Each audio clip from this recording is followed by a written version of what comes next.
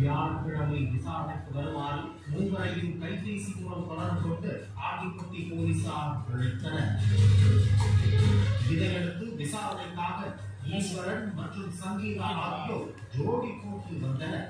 இதனை பேருந்து நிலையத்தில் மறைந்திருந்து பார்த்த தீபாவளி கையில் கத்தியுடன் விரட்டத் தொடங்கினார்.